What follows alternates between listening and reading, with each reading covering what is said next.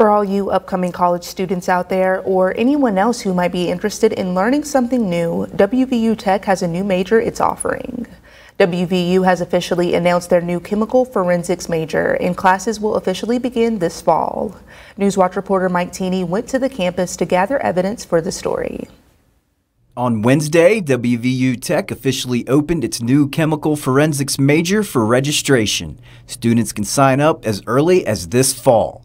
The new major, in essence, builds on the forensic investigation program, which has a good track record of placing students in law enforcement roles throughout the U.S. And that chemical forensics major is going to prepare students to do analytical chemistry with uh, the flavor of forensics uh, layered on there so that uh, they're going to develop some good analytical chemistry skills and get the, you know, get the get the passion associated with crime solving, that sort of thing.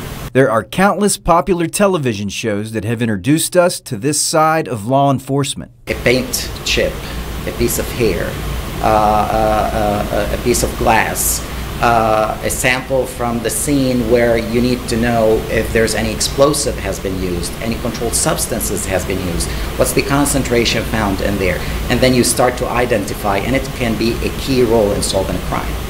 For law enforcement, the forensics lab is a critical part of gathering evidence for a strong case. Oh, incredibly important. In fact, we see, especially through the Innocence Project, that there are people exonerated all of the time from recent uh, advancements in uh, scientific methodologies. Um, in addition, the discovery of uh, unsolved cases or the, the closing of unsolved cases because of the very techniques that are going to be learned in this major. Not only does this new major blend the excitement of crime fighting with the fascinating world of chemistry, the demand for forensic chemists is on the rise, and the job opportunities go beyond law enforcement. So this uh, forensic chemist, once he graduates, he can work in any analytical lab. It can be a specialized lab for the federal or the state in a crime lab, or it can be in any private lab that tests for certain uh, levels and, in their products or quality control. So it is so broad. The labs the students will be learning in are pretty sophisticated.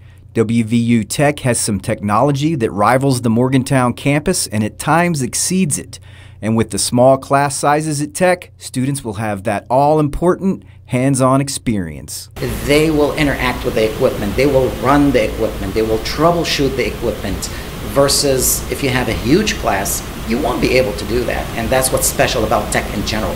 The experience, the hands-on on every single equipment. So when they go down, uh, go to the field or go to the industry to work in the labs, they know our students have a hands-on. They know that they can troubleshoot, they can count on them, especially with the high-end equipment that they have, that we have, that matches the industry.